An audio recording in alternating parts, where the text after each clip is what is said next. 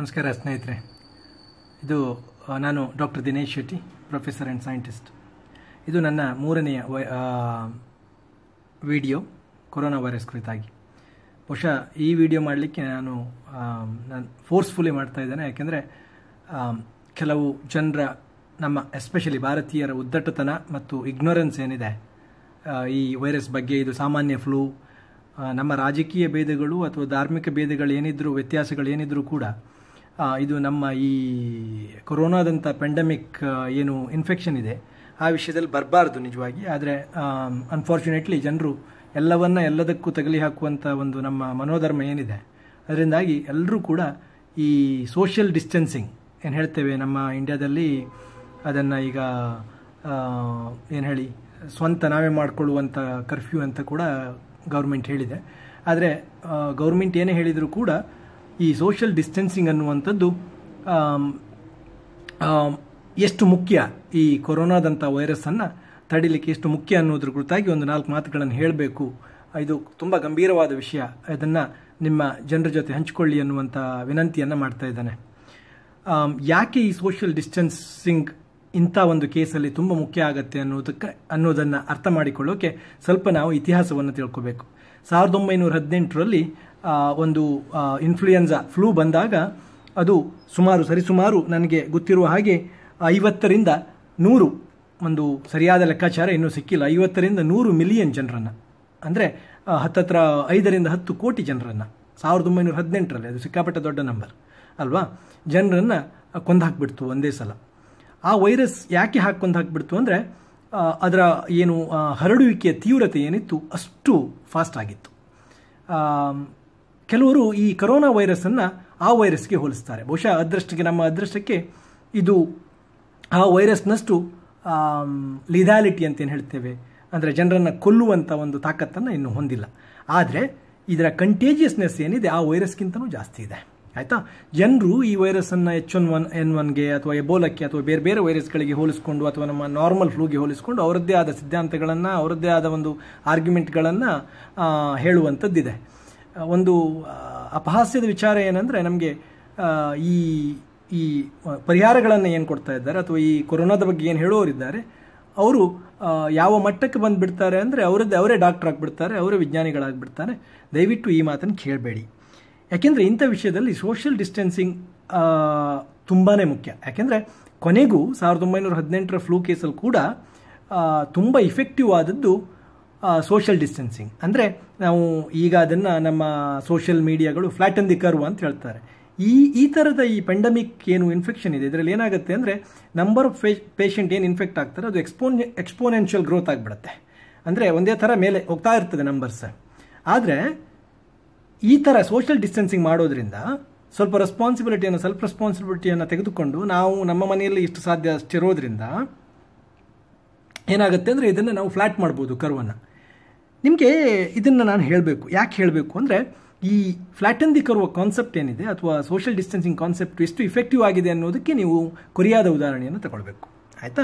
ಯಾಕೆಂದರೆ ಕೊರಿಯಾದ ಉದಾಹರಣೆಯಲ್ಲಿ ಅವರು ಸೋಷಿಯಲ್ ಡಿಸ್ಟೆನ್ಸಿಂಗನ್ನು ಅಷ್ಟು ಸೀರಿಯಸ್ ಆಗಿ ಇಂಪ್ಲಿಮೆಂಟ್ ಮಾಡಿರೋದ್ರಿಂದ ಈಗ ಫ್ಲ್ಯಾಟ್ ಆಗ್ತಾ ಇದೆ. ಕರು ಫ್ಲ್ಯಾಟು ಆಗ್ತಾ ಇದೆ. ಗೊತ್ತಾಯ್ತಾ? ಎಕ್ಸ್ಪೋನೆನ್ಷಿಯಲ್ ಗ್ರೋತ್ ಕಮ್ಮಿ ಆಗ್ತಾ ಇದೆ. ಚೈನಾದವರು ಕೂಡ ಮಾಡಿದ್ದದೆ ಆದರೆ ಆರಂಭದಲ್ಲಿ ಅವರಿಗೆ ಮಾಡಲಿಕ್ಕೆ ಆಗಲಿಲ್ಲ. ಹಾಗಾಗಿ ಎಕ್ಸ್ಪೋನೆನ್ಷಿಯಲ್ ಗ್ರೋತ್ ಆಯಿತು, ಜನರ ಇಗ್ನೋರೆನ್ಸ್ ಆಯಿತು. ಬಟ್ ಚೈನಾದಂಥ ಕಂಟ್ರಿಯಲ್ಲಿ ಅವರು ಸ್ಟ್ರಿಕ್ಟ್ ಮೆಜರ್ಮೆಂಟ್ ತಗೊಳ್ಬೋದು ಮಾಡ್ಬೋದು ಹಾಗಾಗಿ ಅದನ್ನು ಸ್ಟ್ರಿಕ್ಟಾಗಿ ತಗೊಂಡಿರುವುದರಿಂದ ವುಹಾನ್ನಲ್ಲಿ ಚೈನಾದ ವುಹಾನ್ನಲ್ಲಿ ಕೂಡ ಪ್ಲಾಟನ್ ಆಗಿ ಈಗ ಈವನ್ ಕೆಳಗಡೆ ಬರ್ತಾ ಇದೆ. ಇಟ್ಸ್ ಕಮಿಂಗ್ ಡೌನ್ ಅದು ಗುಡ್ ಸಿನ್ ಆದರೆ ಒಂದು ವೇಳೆ ನಾವು ಈ ಸೋಷಿಯಲ್ ಡಿಸ್ಟೆನ್ಸಿಂಗ್ ಮಾಡದೇ ಇದ್ದರೆ ಏನಾಗುತ್ತೆ ಅಂತ. ಸೋಷಿಯಲ್ ಡಿಸ್ಟೆನ್ಸಿಂಗಲ್ಲಿ ಎರಡು ಅಂಶಗಳು ತುಂಬಾ ಮುಖ್ಯ. ಸ್ನೇಹಿತರೆ, ಒಂದು ಟೈಮಿಂಗ್ ಇನ್ನೊಂದು ಕಂಪ್ಲಯನ್ಸ್ ಅಂದರೆ ನೀವು ಯಾವ ಸಂದರ್ಭದಲ್ಲಿ ಮಾಡ್ತೀರಿ ಅನ್ನುವಂಥದ್ದು ತುಂಬಾ ಮುಖ್ಯ ಆಗ್ತದೆ.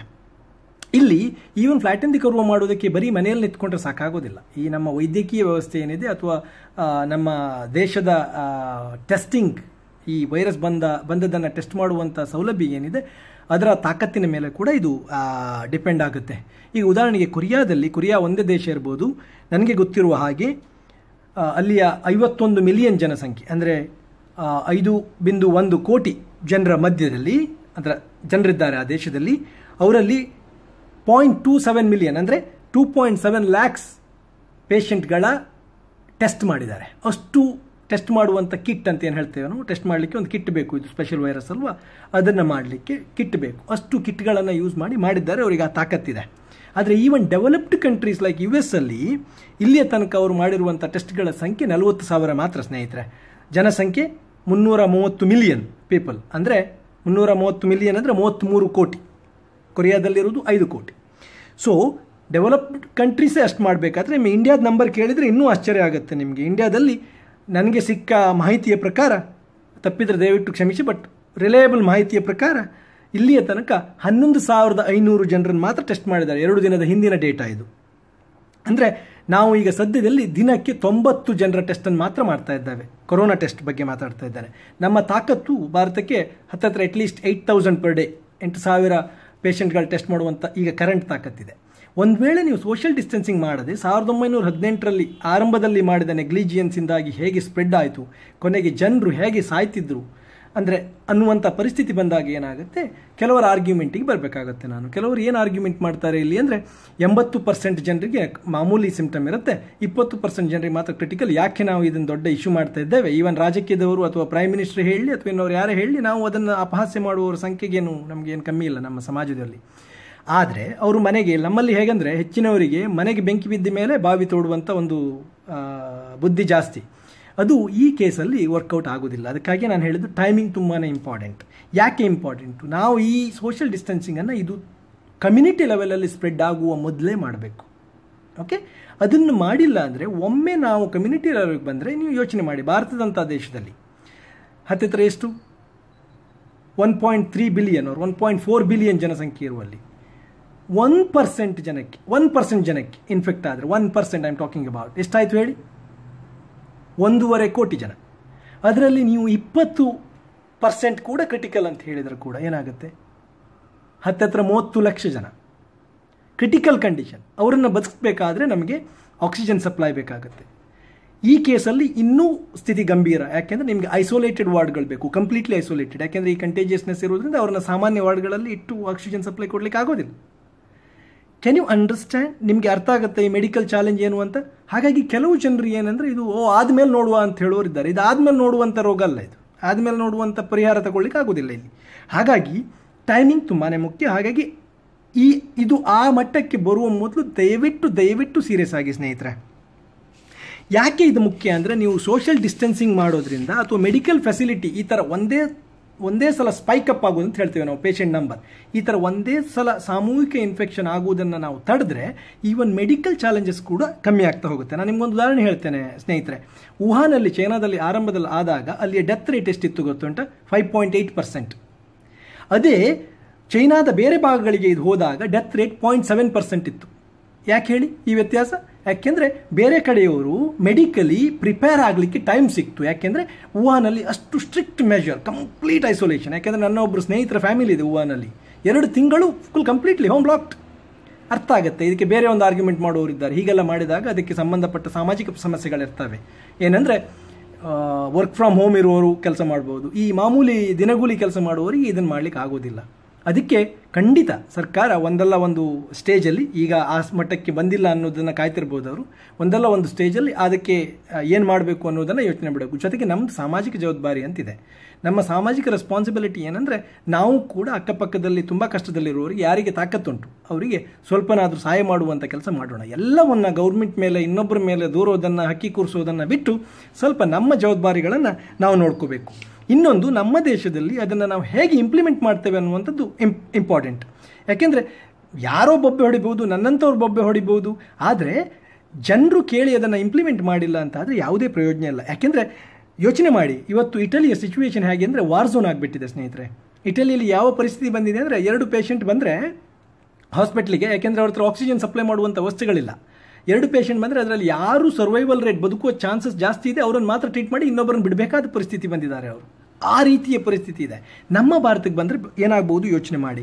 ಇಟಲಿಯ ಪಾಪ್ಯುಲೇಷನ್ ಡೆನ್ಸಿಟಿ ಏನಿದೆ ಕ್ರೌಡ್ ಡೆನ್ಸಿಟಿ ಏನಿದೆ, ಅದು ಇನ್ನೂರ ಆರು ಜನ ಪರ್ ಕಿಲೋಮೀಟರ್ ಸ್ಕ್ವೇರ್ಗೆ ನಮ್ಮ ಭಾರತದ್ದು ನಾನ್ನೂರ ಅರವತ್ನಾಲ್ಕು ಜನ per kilometre square can you understand ಅಥವಾ ಇಟಲಿಯ ಮೆಡಿಕಲ್ ಫೆಸಿಲಿಟಿ ಬಗ್ಗೆ ಯೋಚನೆ ಮಾಡಿ, ಭಾರತದಲ್ಲಿರುವ ಮೆಡಿಕಲ್ ಫೆಸಿಲಿಟಿ ಬಗ್ಗೆ ಯೋಚನೆ ಮಾಡಿ. ಇಟ್ ಡಿಸಾಸ್ಟರ್ ನೀವು ನೆಗ್ಲೆಕ್ಟ್ ಮಾಡಿ ಅದನ್ನು ಸಾಮೂಹಿಕವಾಗಿ ಅದು ಜನರಿಗೆ ಸ್ಪ್ರೆಡ್ ಆಯಿತು ಅಂತ ಆದರೆ it will give such a challenge ನಿಮಗೆ ನಮ್ಮ ಮೆಡಿಕಲ್ ಫೆಸಿಲಿಟಿಗೆ ನಮ್ಮ ಭಾರತ ಮೆಡಿಕಲ್ ಫೆಸಿಲಿಟಿಗೆ ಸಿಕ್ಕಾಪಟ್ಟೆ ಚಾಲೆಂಜ್ ಕೊಡುತ್ತೆ. ಹಾಗಾಗಿ ಎಲ್ಲವೂ ಬೆಂಕಿ ಬೀಳುವ ಮೊದಲೇ ಸ್ವಲ್ಪ ಯೋಚನೆ ಮಾಡಿ, ಬಾವಿ ತೋಡುವ ವ್ಯವಸ್ಥೆಯನ್ನು ಮಾಡಿ. ಬೆಂಕಿ ಬಿದ್ದ ಮೇಲೆ ಬಾವಿ ತೋಡುವ ವ್ಯವಸ್ಥೆಯನ್ನು ಖಂಡಿತ ಮಾಡಬೇಡಿ. ಇಲ್ಲಿ ಮುಖ್ಯ ಬೇಕಾಗಿರುವಂಥದ್ದು ಎರಡು, ಒಂದು ವಾಲಂಟಿಯರ್ ಎಫರ್ಟ್. ನಾವೇ ಸ್ವಂತವಾಗಿ ಎಫರ್ಟ್ ಯಾರು ಹೇಳಿ ಮಾಡುವಂಥದ್ದಲ್ಲ ಗಂಭೀರವಾಗಿ ಅದನ್ನು ಫಾಲೋ ಮಾಡುವಂಥದ್ದು ಇನ್ನೊಂದು ಇಂಡಿವಿಜುವಲ್ ಬಿಹೇವಿಯರ್ ಏನಾಗುತ್ತೆ ನಿಮ್ಮ ಕಮ್ಯುನಿಟಿಯಲ್ಲಿ ಒಂದು ನೂರು ಜನ ಸರಿ ಮಾಡಿಬಿಟ್ಟು, ಒಂದು ಹತ್ತು ಜನ ಸರಿ ಮಾಡದೆ ನೆಗ್ಲೆಕ್ಟ್ ಮಾಡಿಬಿಟ್ಟು ಇಗ್ನೋರ್ ಮಾಡಿದರೆ ಇಂಪ್ಯಾಕ್ಟ್ ಸೇಮ್ ಆಗಿರುತ್ತೆ. ಹಾಗಾಗಿ ಎಲ್ಲರೂ ಕೂಡ ಇದರಲ್ಲಿ ಇನ್ವಾಲ್ವ್ ಆಗಬೇಕು.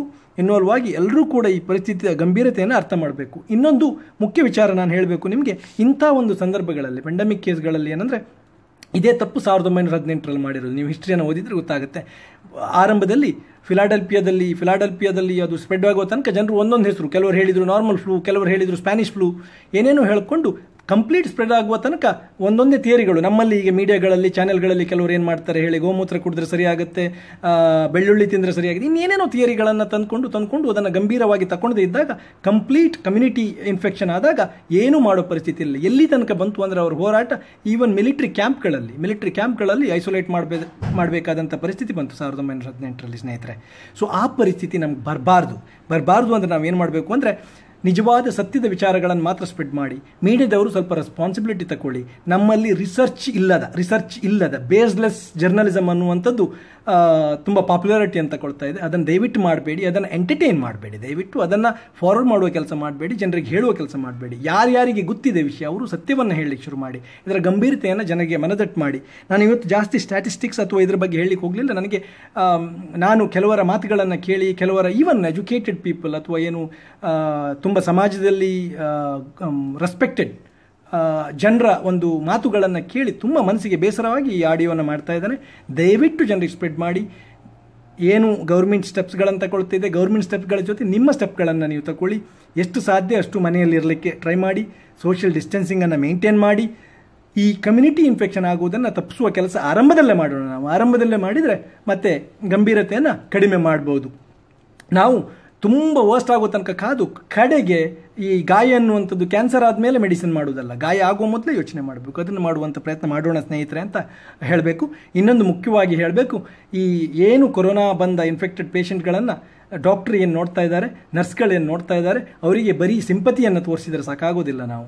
ಅವರು ಕೆಲವೊಮ್ಮೆ ನಾವು ಹಾಸ್ಪಿಟ್ಲಿಗೆ ಹೋದಾಗ ಒಮ್ಮೆ ಪರಿಸ್ಥಿತಿ ಎಲ್ಲಾದರೂ ಕೈ ಮೀರಿದರೆ ಮುಂದೆ ಕೆಲವರನ್ನು ಅವರು ಈಗ ನಿಮ್ಮ ನಾರ್ಮಲ್ ಕಂಡೀಷನ್ ಇರೋದ್ರಿಂದ ಹಾಸ್ಪಿಟಲ್ ಅಡ್ಮಿಟ್ ಮಾಡ್ಕೊಳ್ಳಿಕ್ಕೆ ಆಗೋದಿಲ್ಲ. ನೀವು ಮನೆಯಲ್ಲೇ ಹೌಸ್ ಅರೆಸ್ಟ್ ಆಗಿರಿ ಅಥವಾ ಮನೆಯಲ್ಲೇ ಏನು ಹೇಳ್ತಾರೆ ಕ್ವಾರಂಟೈನ್ ಆಗಿರಿ ಅಂತ ಹೇಳಿದರೆ ಅದನ್ನ ಅರ್ಥ ಮಾಡ್ಕೊಳ್ಳೋ ಪರಿಸ್ಥಿತಿ ಬರಬೇಕು.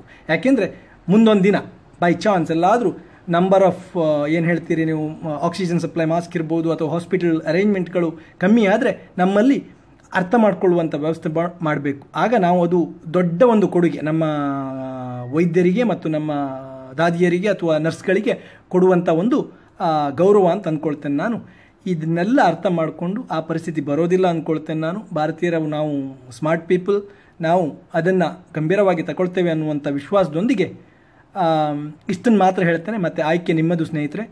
ಯಾಕೆಂದರೆ ನಿಮ್ಮ ಬದುಕಿನ ಆಯ್ಕೆ ನನ್ನದಲ್ಲ. ಸಲಹೆಯನ್ನು ಮಾತ್ರ ಕೊಡ್ಬೋದು. ಧನ್ಯವಾದಗಳು.